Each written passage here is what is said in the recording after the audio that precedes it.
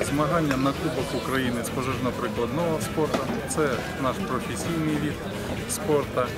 Е, Вчора е, ми відпрацювали одну з справ, це підйом по штурмовій драбині вікно 4-го поверху, де команда Волинської області е, виборола перше місце. В даний момент проходять змагання по 100-метровій смузі з перешкодами, після чого у нас ще мають бути проведені сьогодні змагання з пожежної естафети.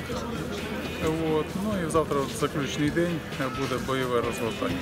До складу нашої команди входять е, працівники наших підрозділів Волинської області, які е, мають е, хороший спортивний досвід. На даний момент ми не хочу забагадувати наперед, але одні з найкращих поки що.